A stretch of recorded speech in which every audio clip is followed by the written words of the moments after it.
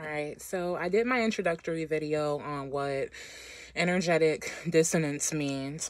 So I'm going to delve more into it um, using a lot of examples from my own life. So I have to give a lot of backstory about myself, unfortunately. Well, fortunately, it's all been good. So um, I grew up, I was born disabled. I had one leg extremely shorter than the other. They didn't know that um, they didn't know that until I was like seven or eight. Um, long story short, I grew up morbidly obese, so that weighed on the leg that was bad. So I had to get surgery, was wheelchair bound for a long time, didn't walk for a long time.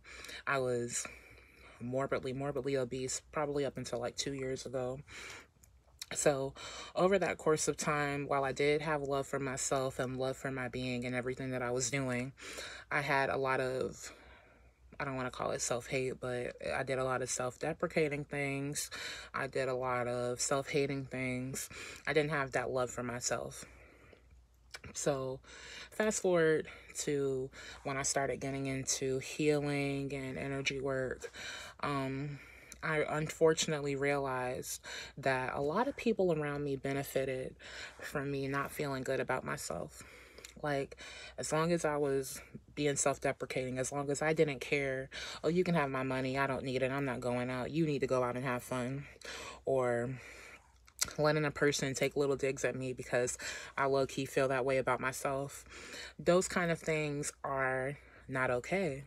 And that is where I really started learning about energetic dissonance because as your vibration ascends, those people fall off. They don't know how to communicate with you anymore, and you don't want to communicate with them anymore.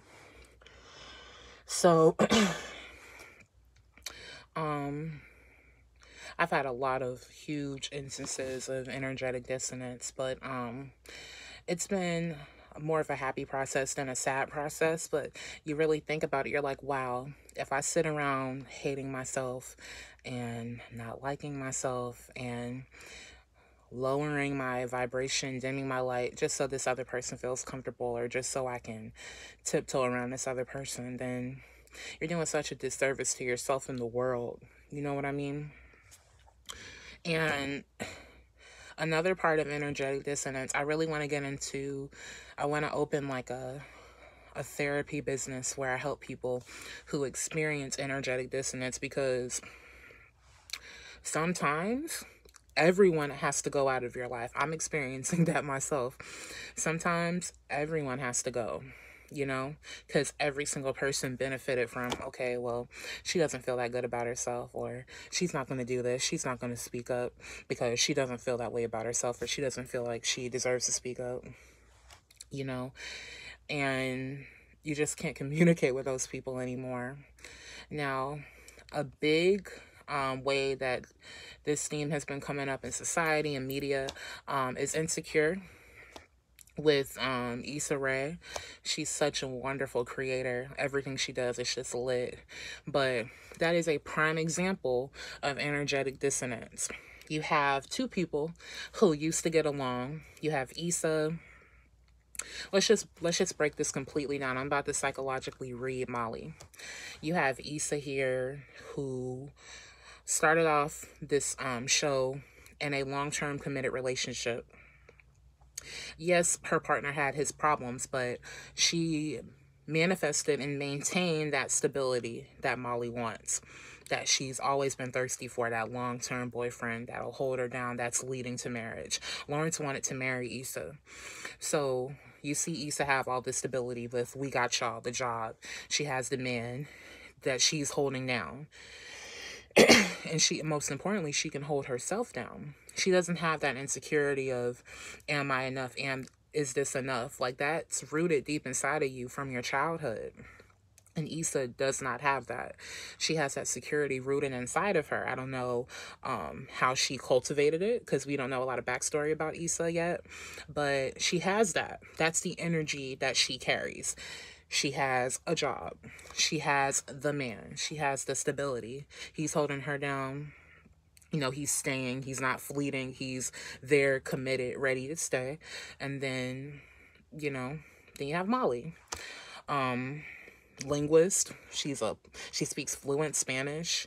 Lawyer, brilliant lawyer, beautiful, financially affluent. Comes from a good family, two parent household, but she is deeply insecure about something that we don't know about yet. She has this thing inside of her, this mechanism inside of her that cannot manifest stability. She can't attract that stability. She can't manifest stability. So she's always been able to take little digs at Issa or look down. I don't I hate to say that cuz they do have a good friendship. But she's always had that ability to look down on Issa when she has those little mishaps where she needs a favor, a professional favor, or where, you know, she messes up in something post online that she didn't intend to. But Molly doesn't have like that stability inside, so she's able to make those little digs at Issa. That's how she looks at Issa. Well, I have all of this. I'm stable with this, and at least I'm stable with this, and Issa's not stable with that professionally. She uses her professional gains and her financial gains as a way to, to look down on Issa. While she's really jealous of Issa because Molly cannot attract and maintain that long term inner stability and security that she longs for, you know, because she is yanking, she's begging for stability and security out of every man. And when you have that thirsty, desperate, I gotta have it, it has to happen now energy, nothing can come to you. I mean, look at her and Dro. She goes after people who are unavailable and expects things out of them that they can't even give. Dro, a married man, she felt secure in fucking him in a bathroom while his wife was at the table. That's how she felt secure. That that insecurity is deep inside of her. You know, and then uh, what else did Molly do? and she's just so jealous and insecure on the inside. And that's okay. The show is called Insecure, but that energetic dissonance that you're seeing between Molly and Issa happens all of the time you know you can no longer look down on me, so we can no longer be friends. That's Molly's problem.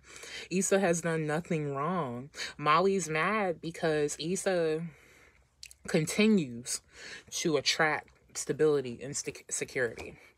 Yes, she was homeless for a minute, but she got on her feet. She started Ubering.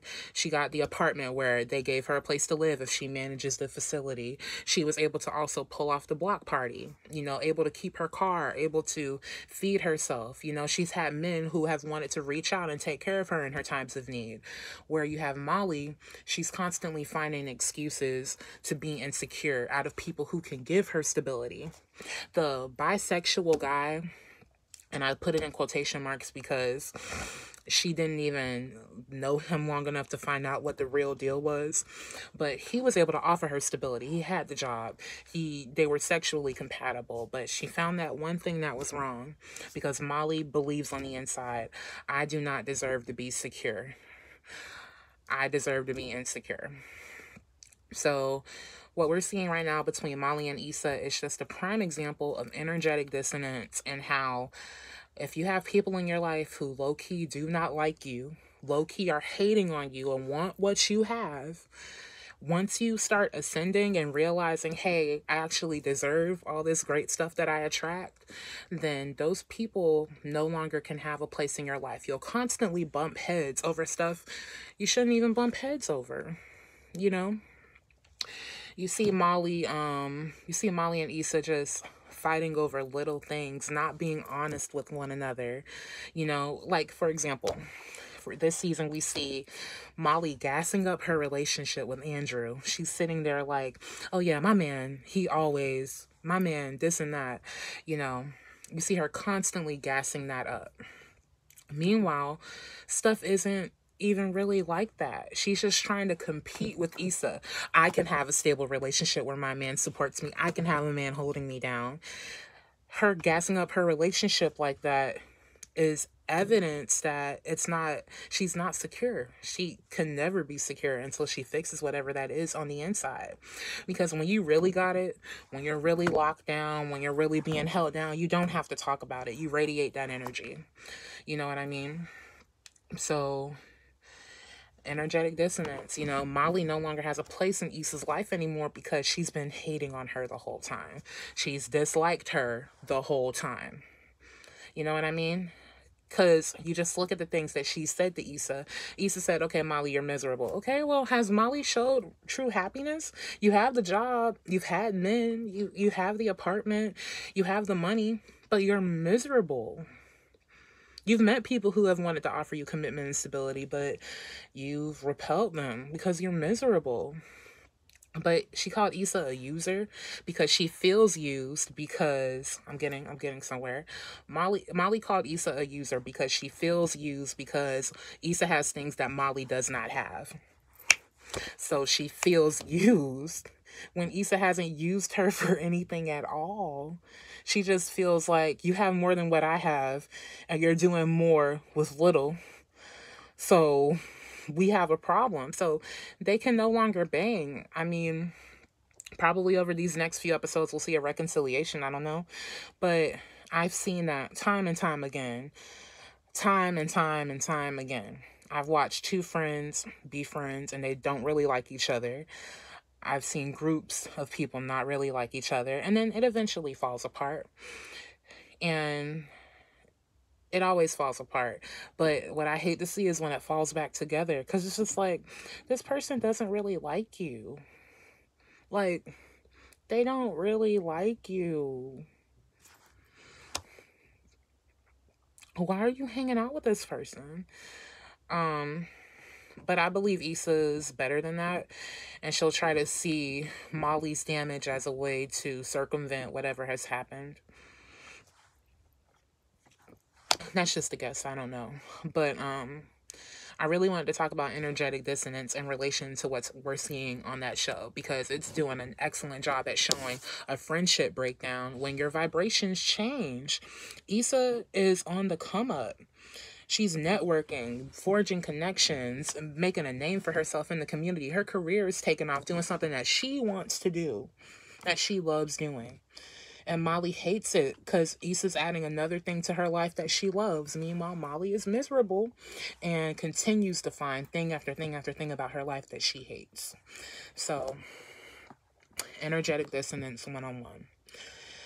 I really want to not only open like a therapy unit to help people deal with energetic dissonance, whether it be online or in person, but also send out tips, tell you it's okay. You will eventually attract people who like you for you, not a, you're that you who loves you, because it's a lot, you know.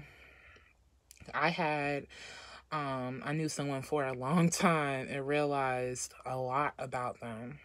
You know what I mean? So it's personal lessons, it's what I'm seeing in society, and it's a way that I want to help people because life doesn't have to be that way. You can be surrounded by people who love you. Go where you're celebrated, not where you're tolerated. And this is for Issa. You got this girl, and we got you.